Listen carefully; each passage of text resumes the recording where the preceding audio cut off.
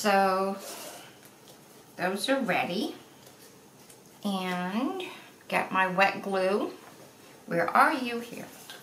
Get your wet glue and just put a little bit on the um, bottom of the stem. And I was able to um, lift up the front of the, uh, the front part of the pumpkin, but I just need to really get some glue in there now. I'm gonna get a glue surface and my brayer and just get that down.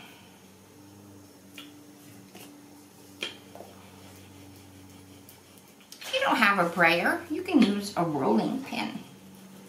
That's good. And this one, a little bit of glue on the back. And I had curved that so it would fit. Oops. I was able to get it up. Alright, I'll put that in there. Get some more wet glue in there. Get the brayer.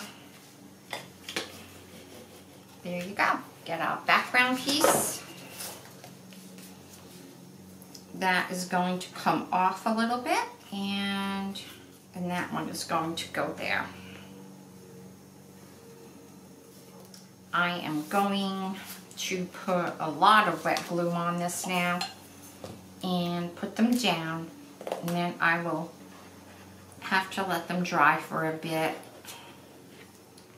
So this will go here and it'll go off the edge.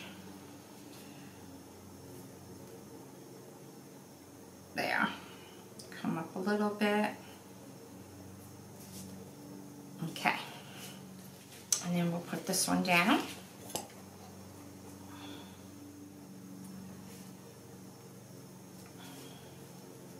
So it looks like the baby and the mom. Okay, turn that over.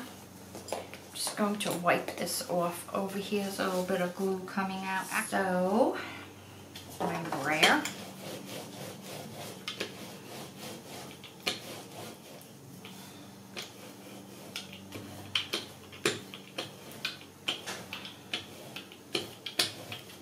Those are all dry.